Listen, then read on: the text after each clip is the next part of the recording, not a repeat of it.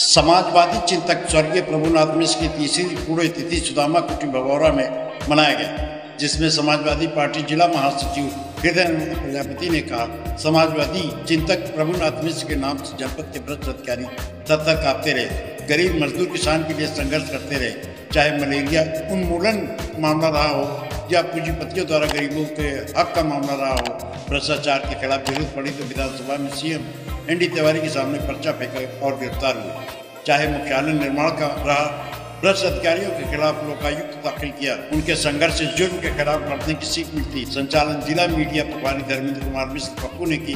उपस्थित जिला उपाध्यक्ष सलाउद्दीन अंसारी, अमरनाथ मिश्र, जिला उपाध्यक्ष प्रदीप वियोगी लालचंद बिंद, हिमांशु यादव, राजेश दुबे, जयप्रकाश, राजकुमार यादव, राजन यादव, डॉक्टर निब्बू लाल यादव प्रेम यादव, अजय यादव, मनोज कनौजिया चक्रधारी यादव, सोहन लाल यादव, प्रेम यादव ओंकार नाथ मिश्र, सुभाष मिश्र, विजय उपाध्याय, आदर्श मिश्र, अश्वनी मिश्र, रौनक मिश्र, लक्ष्य मिश्र हर्षनंदन मिश्र आदि लोग उपस्थित रहे। नमस्कार, मैं अनिश्चित आप देख रहे हैं। देखिए, जीवन में संघर्ष करना चाहिए और हमारे क्षेत्र के, आपके क्षेत्र के स्वर्गीय प्रभुनाथ मिश्रा जी बहुत संघर्ष किए अपने पूरे जीवन में। इन्होंने जीवन में संघर्ष किया, चाहे जिस जात के समाज के लोग हों, सबके संग दुख सुख में सम्मिलित हुए और जो भी इनके पास आया, कि जिनका जो है, लोग उनको परेशान किए, लेकिन ये प्रभुनाथ मिश्रा उनके साथ खड़े होकर के गरीबों को न्याय दिलाने में अपना पूरा सहयोग किए।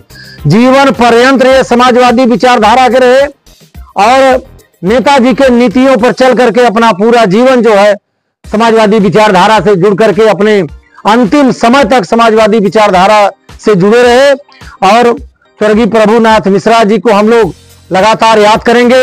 ये बहुत ही हम लोगों के बीच में संघर्षशील पुरुष रहे। इनके भाई पुत्र धर्मेंद्र मिश्रा जी समाजवादी पार्टी के जिला कमेटी के सदस्य भी हैं और समाजवादी पार्टी के लगातार मीडिया के प्रभारी भी हैं।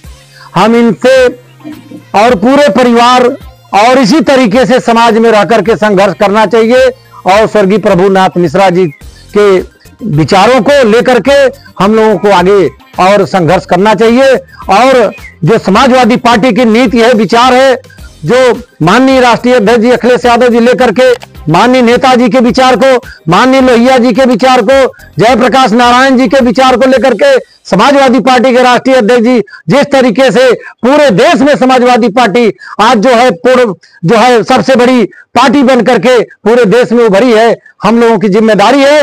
इसी तरीके से हम लोग एक दूसरे का सहयोग करके पूरे देश में समाजवादी पार्टी परचम लहराने का हम आप सभी साथियों काम करेंगे। यही सच्ची पीढ़ी होगा और पीढ़ी के साथ हम आप सभी साथी लामबंद होकर के, एक होकर के सभी समाजवादी पार्टी के लोग मिलकर के आगे चलेंगे। तभी प्रभुनाथ मिश्रा जी के लिए सत्य श्रद्धांजलि होगी।